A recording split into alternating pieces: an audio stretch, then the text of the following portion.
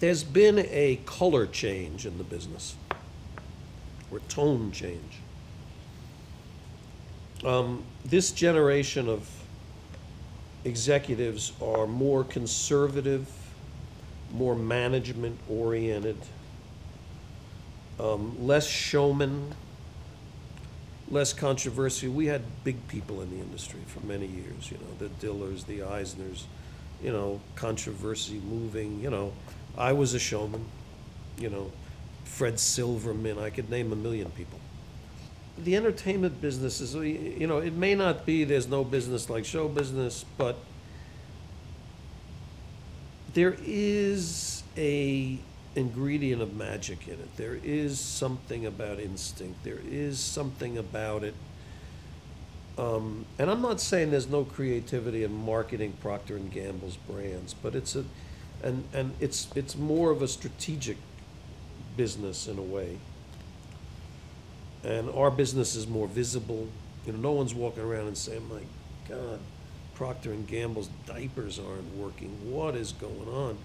You know, now maybe Wall Street says that, but you know, in our business, you throw out something big like Sex in the City. I'm sure everyone is going, "What went wrong?" You know, but that's the magic in the business. That's the whatever, and the tendency because financial people want answers. There aren't always answers. Um, my daughter told me when she goes to college she wants to do physics and philosophy, and I said, that's great.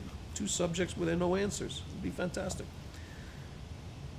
Early on in my career, I hired Frank Biondi, who had been a financial guy.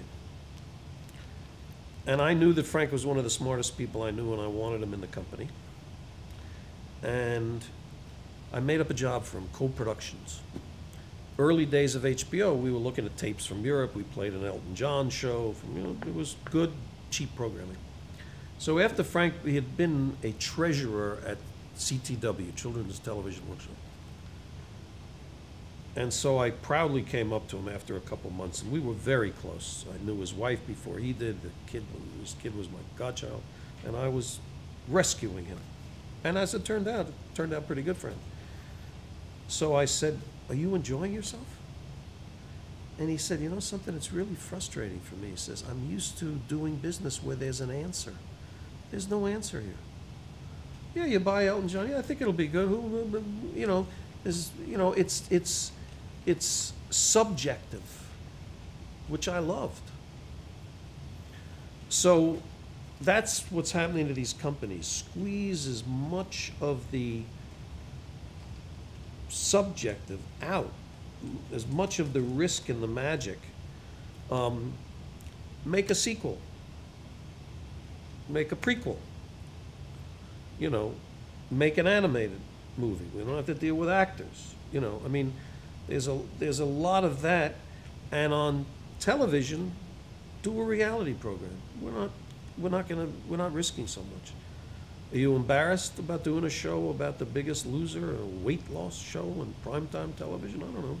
It's not what I grew up to do. Um, so that's where a lot of that is coming. When there's the millionaire and they put it on ABC, 50 different places on the schedule. I mean, you know, that's not showmanship. That's purely money, business. The, the, the best companies will do a blend of that. We'll, we'll try to keep both of it alive. But the business has triumphed over the creative. In the old days, it was vice versa. So that's been a, that's been a big change.